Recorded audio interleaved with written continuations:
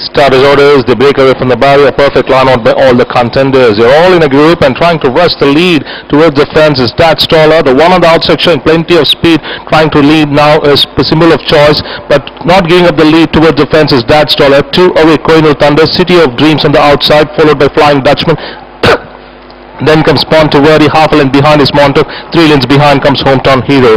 And of Choice now has won the lead by about uh, two to the good of Dad Stoller, three parts of a length behind is City of Dreams. A length and a half behind there is Koinur Thunder, the one on the outside is Ponteverdi, even more deeper out is Koi- uh, Flying Dutchman, then comes Montauk, another two and a half lengths behind is Hometown Hero as they turn in.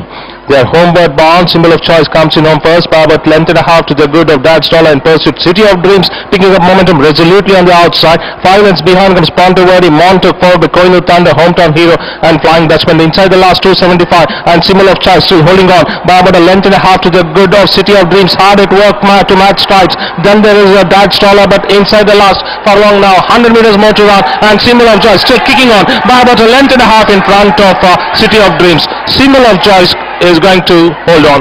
So symbol of choice, the winner by a length to the good of uh, City of Dreams.